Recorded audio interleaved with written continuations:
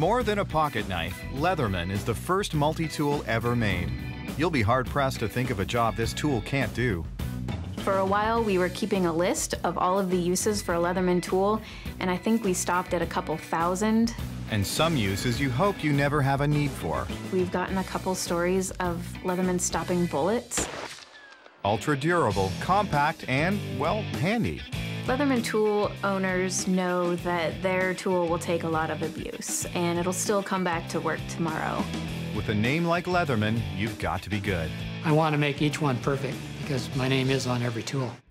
Made in Oregon, Leatherman tools are sold in over 70 countries around the world.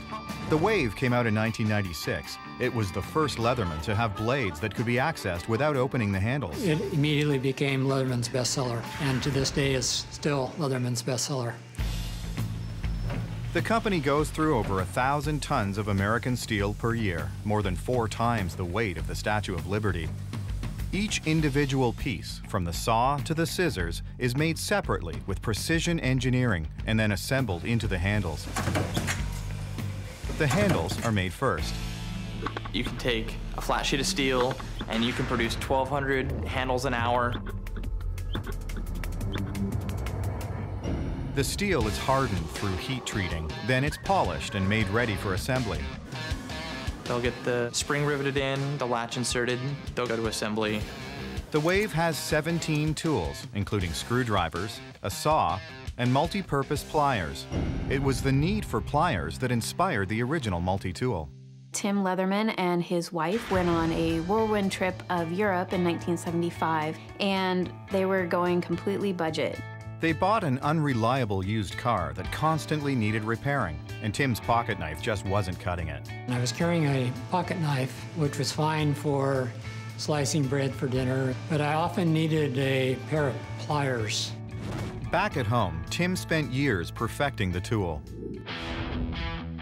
In 1983, he and his friend Steve Berliner founded the Leatherman Tool Company. By the end of their first full year of production, they had sold almost 30,000 multi-tools. You cannot believe how happy I was, finally, after eight years, to get a sale. Today, Leatherman makes over 15,000 tools a day, including their best-selling Wave. Most of the components of the Wave are made using a similar process to the handles. They're going to get stamped out, they'll go out to heat treat, after heat treating, the tools are tumbled with ceramic beads to polish them and remove any burrs. Bead blasting is just pulverizing the surface of the parts essentially, just to give them a nice smooth matte finish. After bead blasting, the tools go to a finish area where they're sharpened and finessed. Then they'll get a variety of different processes. The blade is ground using a double disc grinder. The saw goes through side grinding to get a tapered edge and the scissors are made in two halves and then ground to the right thickness.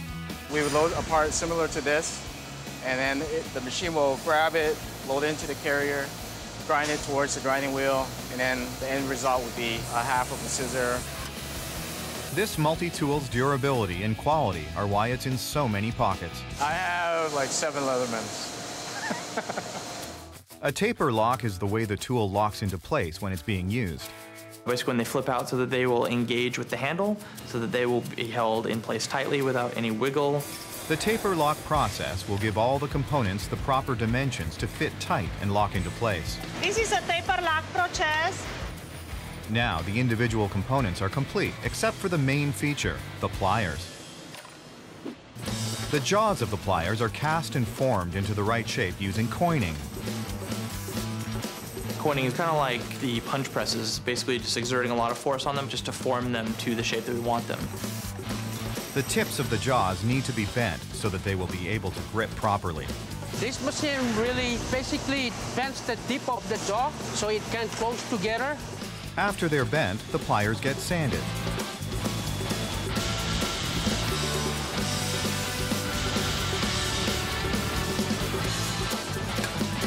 With the pliers finished, all of the components are complete and the tool is ready for assembly. So this is the building pin which we build our products on. So what I do is I put on the, the screwdriver first to put it in this flathead screwdriver and then we have a locking washer which goes on top.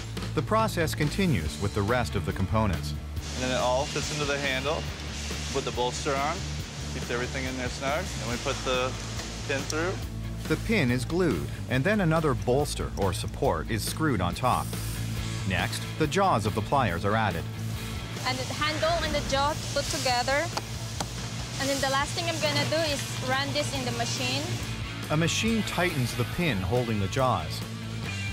Once the jaws are tightened, the two handles will be assembled with all the individual items inserted into each side.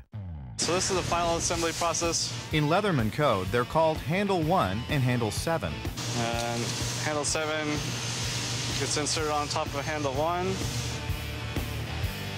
It's just one of the final checks we do. Tension is checked, screws are tightened, and the metal is inspected.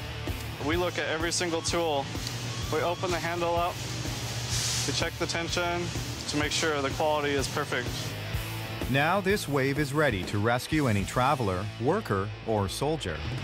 We've received a couple of really heartfelt stories from soldiers abroad who have been in firefights, and their Leatherman multi-tool has stopped a bullet that would have otherwise killed them.